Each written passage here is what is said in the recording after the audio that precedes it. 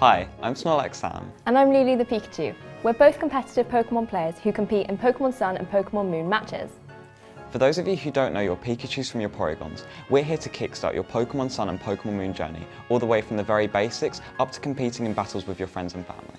And for those of you who are already on your way to becoming a Pokemon Master, this series will be packed with loads of hints and tips that will have you thinking like a true ace trainer and then you'll be able to compete among the very best. Last time, we showed you how to develop a strong team that will allow you to conquer the Alola region. In this video, we will go one step further and show you things in the Alola region you might not necessarily be aware of. So after finishing the main story, what else is there to do?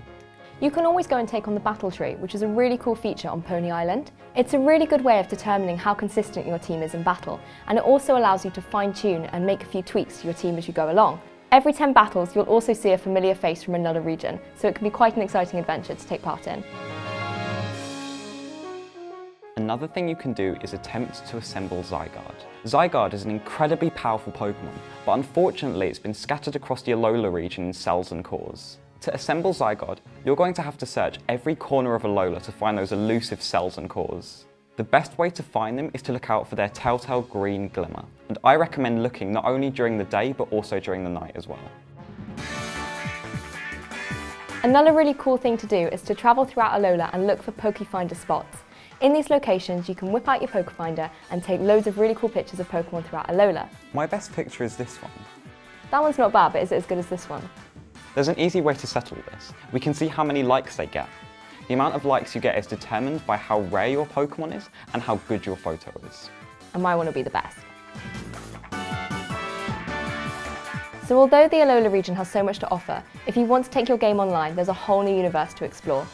If you go into the Festival Plaza, you can do so many different things in terms of trading with people from around the world or battling them as well. You can even participate in online global missions. Those are really fun. You can do things like collecting Pokebeans or catching a certain amount of Pokemon, and with that you work as a team with people all around the world to reach the mission goal. And remember, if you help complete these online missions, you'll get some great in-game rewards. For those of you who have yet to explore the Alola region, now is your chance. We've got five copies of Pokemon Sun and Pokemon Moon to give away so that you can start your adventure.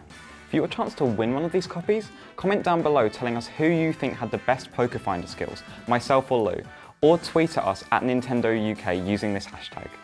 Please give us a thumbs up down below and don't forget to subscribe to Nintendo UK on YouTube so that you can follow more of these videos in the series. Now you've got a strong team by your side, you can go out into the Alola region and take on any opponents that come your way. Join us next time when we will take a look at the different battle modes available in Pokemon Sun and Pokemon Moon. We'll provide you with our hints and tips for success and how to become the ultimate Pokemon trainer. See you next time.